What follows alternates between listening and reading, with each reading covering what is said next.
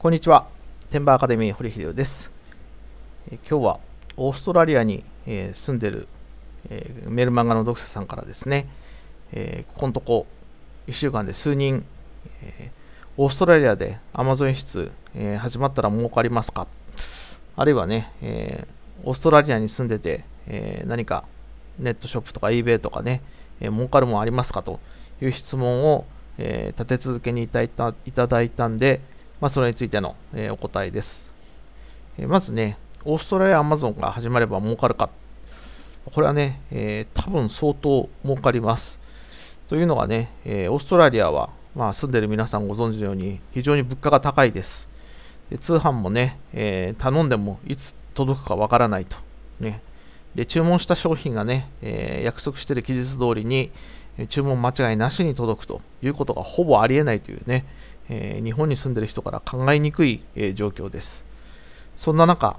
アメリカアマゾンがね、えー注文して約束した日付、3日かね、2日か3日か1週間か分かりませんけど、2日とか3日とか1週間程度でね、注文した商品が間違いなく届くというのがね、これは実はすごいこと。昔、えー頼んでからね、えー1時間も2時間も経ってから冷めたピザを持ってくるピザ屋ばっかりだった中にね、30分以内に届けますって言ったら爆発的に売れたというドミナピザを彷彿させるね、多分、えーそれぐらいの、えインパクトがあると思います。えただ、ね、そういう期限が守られないオーストラリアなんでですね、噂では、え9月に始まるということですけど、えそのままちゃんと9月に始まるかどうかはわからないと。じゃあそれまで手をこまねいてね、オーストラリアに住んでる人は何もできないのか。まちょっとね、オーストラリアの、えー仕入れ先として中国に行ってくるんですけど、ま中国でね、この仕入れの自動化の仕組みを作れば、ま、別にオーストラリア、アマゾン始まるのを待たずともですね、えオーストラリアに住んでても、アメリカアマゾンに中国仕入れの商品を入れればいいんじゃないかというのがね、えー気づきました。ね、あのー私の方は当然ね、えー中国商品をアメリカに入れて、で、オーストラリアが始まったらオーストラリアにも入れてというつもりでいたんですけど、あそれなら別にオーストラリアに住んでる人もね、えー中国仕入れの自動化ができたら、えーアメリカアマゾンをやってもらって、オーストラリアアマゾンが始まったらね、えーオーストラリアアマゾンに、えー手を広げてもらえばいいのかなというのにね、えー今更ながら気づきましたんで、えそのご紹介です。まだね、ご紹介ですって言っても、まだあの応募とか、えできないんですけど、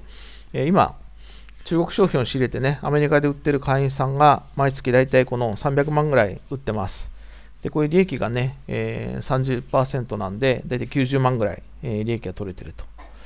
で、これね、えやっぱり今まで私は中国商品にはね、結構否定的だったんですけど、まあこれだけ儲かるのを見せつけられて、でなおかつね、えーやっぱりどう調べても人件費も安いんでね、これは検品と商品選択と、えー梱包発送がね、ちゃんとやってくれる仕組みがあれば、えー中国のやっぱ仕入れは外せないなというのにね、えー最近考えが変わってきました。で今月、えー中国の EU に行ってね、え仕入れのメッカ EU に行って、え10日間ほど、え商品を見たり、あるいはね、その、えサービスを提供する会社のね、え仕事ぶりを見たりして、で、お願いしたいことをお願いして、で、今、え会員さんが使ってる、えとこと同じか、あるいはそれ以上のね、え使えるサービスかどうか確認してきます。で、これが使えるサービスだと確認できたらですね、えーサポートを開始しますんで、えー楽しみにお待ちください。まあ何しろ、えー Amazon 期待してます。というのもですね、昔 eBay が始まった時とか、ヤフオクが始まった時、あるいはね、Amazon で FBA が始まった時、もういずれもね、えーすごいガッポガッポ儲かりました。高いブランドものでもね、えー無在庫で、まあ昔ルイ・ヴィトンとかエルメスね、えー10万、20万で買ったものがね、日本に持ってくるだけで30万とか50万で売れた時代があったと。今のヤフオクから見たら信じられないんですけどね、えーそういう時期も数年間続きました。で、安くすれば何でも売れましたね。えーいらないものはね、えーゴミ、粗大ゴミで引き取り来てもらうまでもなく、1円スタートにするとね、えーたまに間違えて10万ぐらいになっちゃったりすることもよくありました。で、まあ、3年経つとね、日本人は勤勉なんで、えー、参加者増えて、まあ、ちょっとした工夫が必要だったんですけど、Amazon にしろ、えー、ヤフオクにしろ、eBay にしろ、始まって3年間はですね、ただやり方を知って黙って参加さえしてりゃ、えー、儲かりました。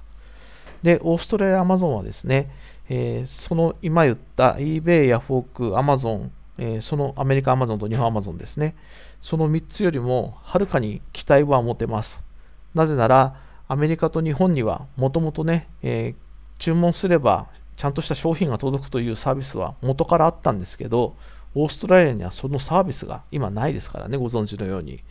えー、そんな中、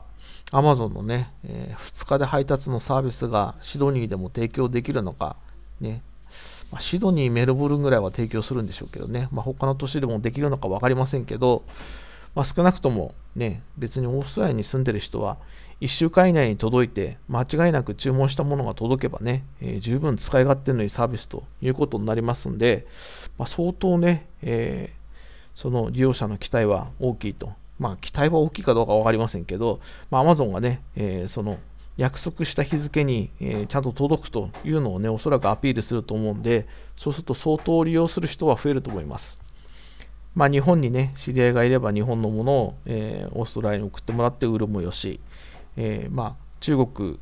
で仕入れたものをですね、えー、オーストラリアで売るのもよし、まあ、いずれにしても、えー、Amazon、FBA が始まれば、まあ、物販が始まればですね、相当稼ぎやすく、え、楽しみな、え、プラットフォームになることは間違いないんで、え、期待してお待ちください。えいつ始まりますとかね、え始まるにあたって、えサービスを提供しますというお話はですね、えこちらのメールセミナーの方に登録してもらうと届きます。このメールセミナーはですね、え無料ですんで、えどうぞご応募して、え情報をチェックしてください。以上、天馬アカデミー、堀秀夫でした。